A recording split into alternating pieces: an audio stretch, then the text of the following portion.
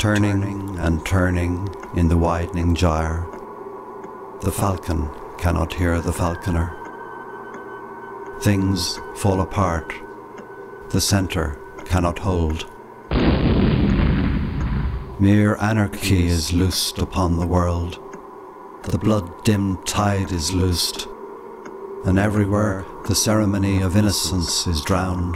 The best lack all conviction, while the worst are full of passionate intensity.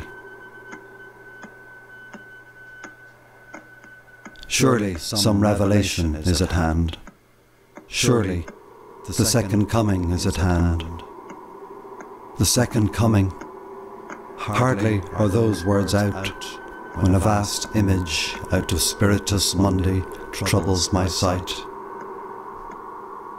Somewhere in the sands of the desert, a shape with lion body and the head of a man, a gaze blank and pitiless as the sun, is moving its slow thighs, while all about it reel shadows of the indignant desert birds.